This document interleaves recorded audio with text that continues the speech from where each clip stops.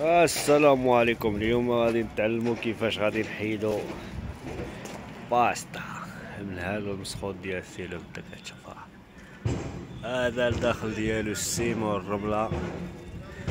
غادي تشوفوا دابا كيفاش العمرجي اللي كتخرج بلا بالا بلا حتى حاجة.